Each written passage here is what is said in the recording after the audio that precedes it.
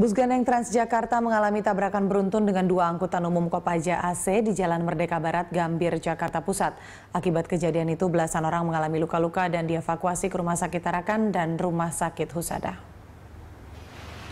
Tabrakan beruntun ini berawal dari bus gandeng Transjakarta yang datang dengan kecepatan tinggi dan langsung menabrak bus Kopaja AC yang sedang berhenti menurunkan penumpang di halte Museum Nasional.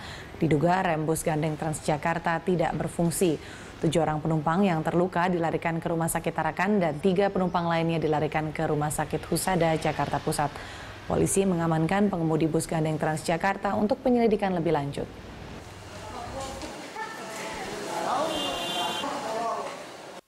Pokoknya saya cuma ngerasa dia nabrak belakang saya aja, busway. Oh jadi ditabrak ya? Iya, ditabrak. Oh, ibu itu di Di Kopaja, Kopaja. yang depan yang nabrak 602. nah posisi Kopaja itu masuk ke jalur busway atau gimana? Emang emang jalurnya dari busway kan? Itu udah berhenti ya, Bu? Eksekutif 601